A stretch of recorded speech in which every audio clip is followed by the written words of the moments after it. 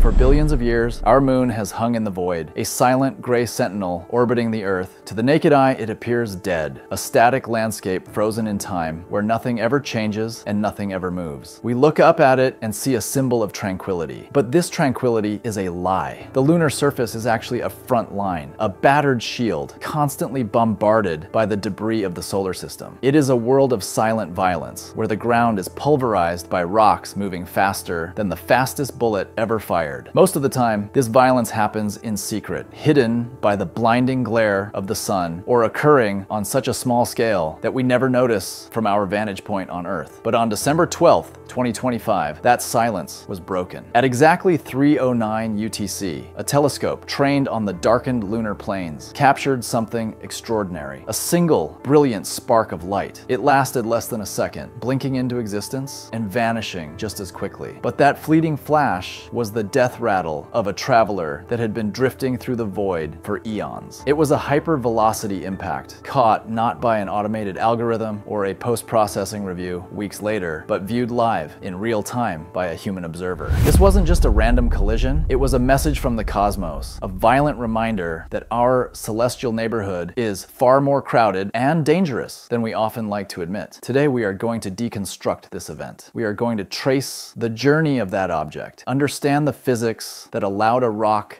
the size of a pebble to detonate like a bomb and explore what this means for the future of humanity as we prepare to return to the moon, this time to stay. To understand the magnitude of what happened on December 12th, we first have to understand the environment. On Earth, we are protected. We live inside a bubble. When a space rock hits our atmosphere, the air acts as a shield, a thick fluid that absorbs the blow. Friction burns the object up, turning it into a streak of light light we call a shooting star. It is a beautiful, harmless display. The energy is dissipated miles above our heads, but the moon has no such shield. It has no atmosphere to speak of, just a near perfect vacuum. There is no air to slow an object down, no friction to burn it up before it hits the ground. There is no warning. This means that when debris strikes the moon, it does so with its full, unmitigated kinetic energy. The object doesn't slow down until it physically touches the lunar surface. The object that struck the moon earlier this this month was likely tiny. Preliminary analysis suggests it was only a few centimeters across, perhaps no larger than a marble or a grape. On Earth, if you threw a pebble that size, it would bounce harmlessly off a wall. But in space, speed changes everything. Physics takes on a terrifying new dimension. This fragment was traveling at tens of kilometers per second, two Put that in perspective, a high-powered rifle bullet travels at about 1 kilometer per second. This object was moving 30 to 40 times faster than that. When that marble struck the lunar regolith slightly northeast of the Langrenus crater, it wasn't just a rock hitting dirt.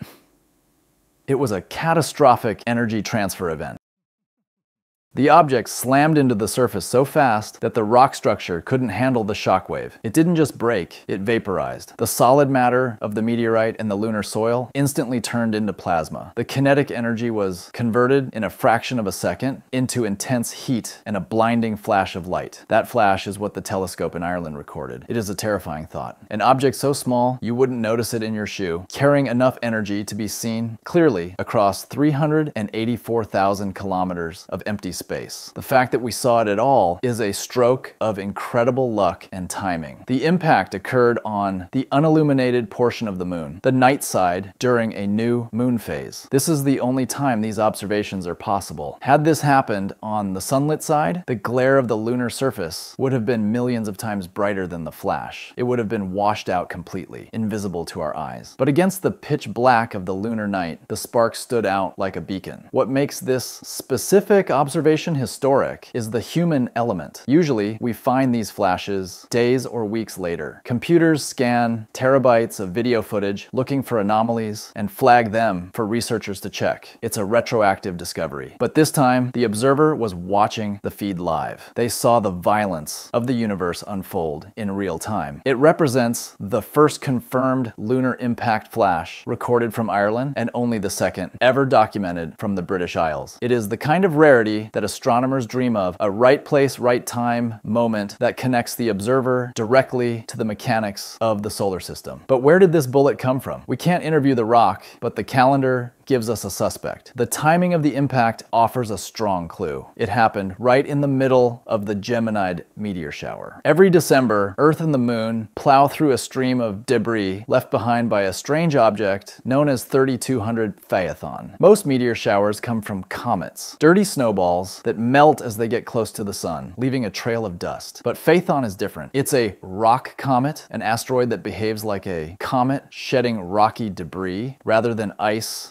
due to the intense thermal stress of getting too close to the sun. This means the Geminid stream is dense and the particles within it are traveling fast, around 35 kilometers per second. That matches the velocity estimates of the object that hit the moon. It is almost certain that what we witnessed was a Geminid meteoroid ending its journey. Think about the scale of that journey. This small rock was shed by an asteroid, drifted in a vast orbital stream for perhaps centuries, effectively invisible to anyone. Then out of all the empty space in the solar system, it intersected the precise orbital path of the moon at the exact second required to cause that collision. And we, a species on the planet next door, just happen to be looking. This validates something crucial for scientists. We have long theoretical models that tell us the moon should be getting hit by the same meteor showers that Earth experiences. It makes logical sense. The Earth and moon are a binary system, moving through the same patches of space. But verifying that is difficult. Seeing a Geminid impact confirms our models of the debris environment. It proves that these streams of space junk are not just light shows for us on Earth. They are navigational hazards for the moon. And this brings us to the most critical part of this story, the future. We are living in an era where the moon is transitioning. It is no longer just a distant object of study. It is becoming a destination. Space agencies and private companies are actively planning permanent habitats, research stations, and mining infrastructure. We are designing suits for astronauts to walk on the surface for weeks at a time. We are talking about building glass domed observation decks and solar farms. This impact is a sober, necessary warning. On Earth, a Geminid meteor is a romantic wish upon a star. On the moon, it is shrapnel. If an astronaut had been standing at the impact site near the Langrenus crater on December 12th, the result would have been catastrophic. There is no survival scenario for a direct hit, but even a near miss is dangerous. The impact throws up a cloud of ejecta, high speed dust, and molten rock that sprays out like a shotgun blast. Even a small habitat module or a delicate solar array could be punctured or severely damaged by a kinetic strike of that magnitude. We cannot rely on an atmosphere to protect us there. We have to bring our own shields. Understanding the frequency of these impacts isn't just about satisfying scientific curiosity, it is about survival. By studying this flash, measuring its brightness, its duration, its color temperature, we can can calculate the density of the object and the energy it released. Each data point helps us build a map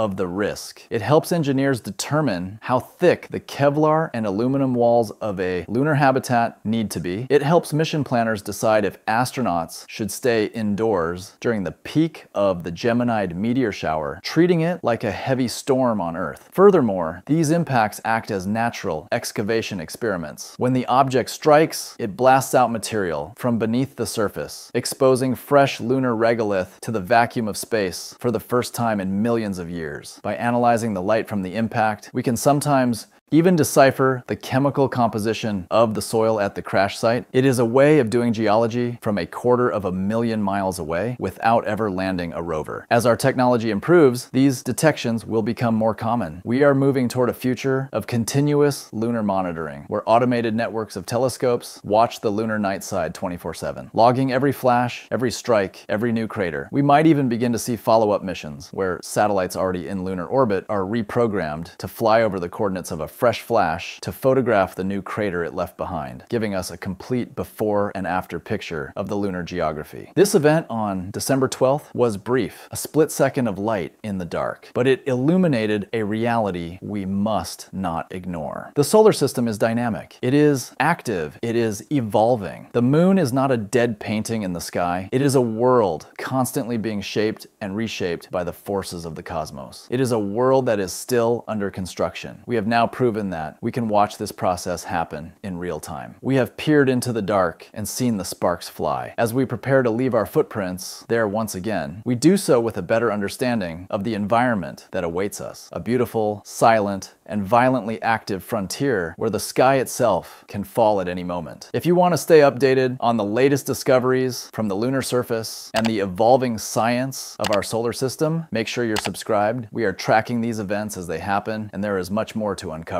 Thanks for watching.